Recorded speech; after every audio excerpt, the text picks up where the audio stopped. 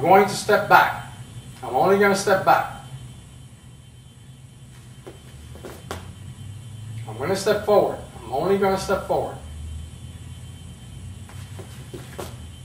Simple reaction is a responsive action. It is a reply in which one knows or foresees a stimulus which is about to occur, and for which one prepares an adequate response, in a specific way.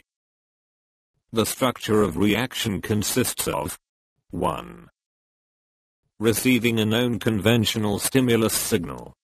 2. Appreciation, or realization, of the stimulus.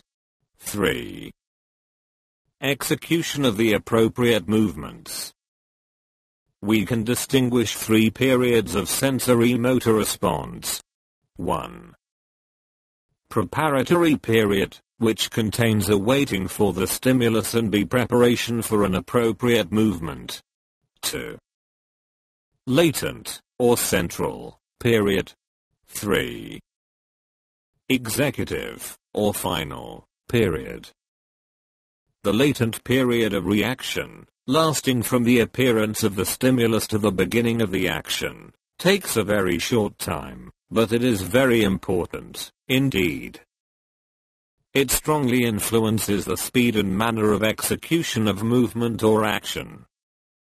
The athlete is still immobile, but very dynamic and important processes are taking place in his brain cortex. The latent period may be divided into 1. Sensory part of the latent period of reaction receiving the stimulus signal. 2. Associative part of the latent period realization that this is a stimulus for action. 3 motor part of latent period excitation of the motor area of the cortex and a flow of motor impulses along the nerves to the appropriate muscles. The executive or final period of reaction consists of the time from the beginning of the movement action to its completion. It is visible and therefore appears, to a superficial observer, to be the most important phase. It should be understood, however, that the actual movement is prepared by, and depends on, the first and second periods of reaction.